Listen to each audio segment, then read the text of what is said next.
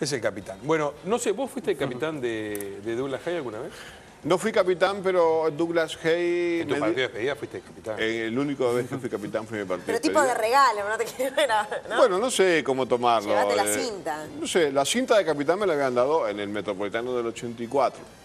Me dan la cinta del capitán, que para mí fue un honor. El capitán estaba muy mal de colesterol y estaba usando mucho la cinta fija para correr. Y cuando no se recuperó, la puso a la venta. Y el técnico me dijo, Weber, ¿por qué no aprovechás? Dice que está muy buena en las condiciones.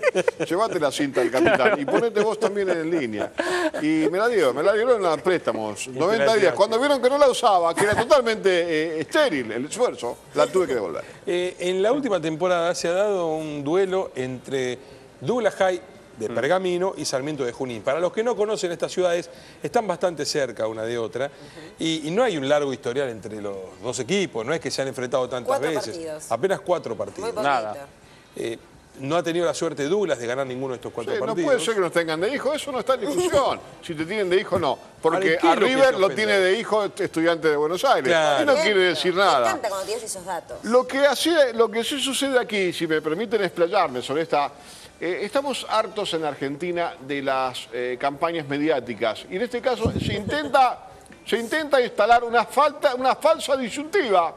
Douglas Hay, mi equipo, que me vieron a ser Sarmiento de Junín, ciudades vecinas, ciudades amigas. Entonces, ¿qué? Hay el- manos maliciosas, anónimas, han hecho una campaña en la internet comparando los ídolos de Douglas Hay y los ídolos. Mira, aquí está, aquí lo tenemos, las diferencias, mira. Ponen la pasarela, ponen a un Totti Iglesias, fíjate los nombres. Mira, yo te digo quiénes están. Yo te digo, en este mismo instante, quiénes están. Dame los nombres. Están Pasarela, Pasarela ahí arriba en el costadito. Totti Iglesias, Totti, el Flaco Gareca, Gareca, el Tigre, Taqueta Barrio Nuevo, Taqueta Barrio Nuevo, que es el mayor ídolo. Está Ernesto Coco Peli, máximo goleador. Coco Peli, Ever Pérez, se llama igual que vos. Ever. Bueno, y del Capitán otro lado, histórico. Y está, eh, Pablito Aguilar no está ahí en el afiche, pero es el nuevo gran ídolo que tiene la gente Bueno, de Sarmiento. eh, yo creo que Pablito Aguilar es el artífice, en las sombras, el monje negro, Pablito Aguilar. Vos sé que sos el autor intelectual de esta movida, que pretende desprestigiar a una institución como Douglas Hay. Yo te voy a decir lo siguiente, Pablito Aguilar. que ¿Por qué estar- desprestigiar? ¿Vos sos un desprestigio? Porque me ponen a mí solo y hay do- eh, dos olvidados imposibles de soslayar, dos ídolos que aquí no figuran. Y hablo en nombre de ellos. Y van con la parada. Disculpen el tono, Por ¿no? favor. Lo vale. Gracias, Federico Levi. Acá hay dos nombres que justamente se dejan de lado. Plumero Gómez, un gran amigo, Un y otro lateral. ídolo de Douglas Hay. Y Pasó otro, por otras grandes instituciones. y el Sopo Cuartas. ¿Por qué no figura Sopo Cuartas? Con la Sopo cantidad de Cuartas. goles. Así que el nombre de mi amigo es Sopo Cuartas. El nombre de mi amigo, Amigo tuyo, el sapo. más o menos, pero bueno, jugamos juntos. En nombre de ellos dos digo, se quedaron cortos chicos si pretendían instalar esta polémica. Basta las faltas disyuntivas, las falsas disyuntivas. Braden o Perón, azúcar o edulcorante, eh, Salo Pimienta. sal o pimienta, queso o dulce, Pacho o Donel. ¡Basta! Basta, ya está.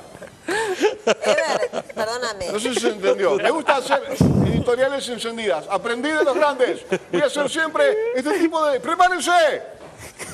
Yo pensé que ibas a tirar tu dirección. No, espero no. en Lavani Segurola. Me gustaron... Sí, vení a buscarme. Pablo Aguilar, que sos el artífice. Pablo Aguilar. ¿sabes qué pasa? Pelado. Pelado, te se están volando las chapas. Claro, entonces eh, debe tenerte envidia. Exacto. Y aparte, sí... Y de entonces, cuatro. Tiene, un pasado... Ah, viene de ahí. es No, no sé de dónde viene, pero sé que fuiste el artífice. Así que de ahora en más, cuando yo note estas cosas raras en la internet, voy a hacer este tipo de editoriales encendidas, muy vehementes. Hay un nuevo Ever Ludueña. ¡Basta! Ever. Tranquilo, Vos sabés Ever. que cada uno, viste, siempre de, de las cosas tiene una mirada distinta, una lectura diferente. Cuando yo vi esto, Sí. sinceramente, desconociendo, porque tengo una carencia dentro de tu historia como, como falta atleta, Argentino como futbolista, claro. Como no la conozco, no la tengo todavía bien analizada, bien- no hice tu biografía todavía. En profundidad. Dije, pucha, que fue importante en la historia de un club. Uf, Yo mira. pensé que exagerabas, que era No, así, de no, boquilla. no. Primero- Pensé que te ibas a poner contento porque Eh, sí, era la exacto. Hay, una- hay unos sentimientos encontrados en mi interior. Hay de todo en mi interior porque hay lugar. Eh, por un lado me halaga también. Quiero agradecer Claro. que me tengan como No, esto, es me para mí es idea de Pini Morente. Pini Morente. No tengo ninguna duda de que Nicolás Morente está detrás de todo esto. Morente, Un juninense. Un- No, no, no. Y una mentalidad bien Morente. bien Morente. Sí, sí, Claro. puede ser. Sí, Morente, si fuiste vos, te espero. Ya sabés dónde vivo, en Tapiales. Eh, Caferata, Caferata y Avellaneda. Y la próxima vez que hagas un editorial, avisa que te tomamos la presión, ¿eh? Sí, tranquilo, la tranquilo. próxima vez que yo haga editoriales quiero estar cableado, quiero estar, que se me esté midiendo el, el pulso cardíaco y la presión arterial. Bueno, eh, gracias, Ever. Eh, no, ¿Sabes qué, Chino? Vamos a hacer la tanda cuando Ever y Luciana vayan para allá, si lo hacemos un poco más prolijo. Vamos primero con el polo, que para eso eh, vino hoy Federico Levi. Hoy no tenemos la presentación de siempre, pero sí un acompañamiento, eh, como es habitual también en tus columnas, Fede.